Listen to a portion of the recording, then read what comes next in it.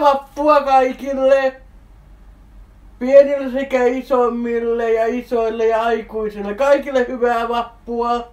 Muistakaa nyt varsinkin nämä isommat, kun juotte niitä ilolientä, että hitte vaan sopivasti eikä liikaa. Ettei hitte taas tule tehtyä tai tummuuksia. Muistakaa nyt hitte kaikki, varsinkin tänään ja huomenna tämän neuvon. Marko siitä toivottaa kaikille oikein hyvää vappua 2020 kaikille.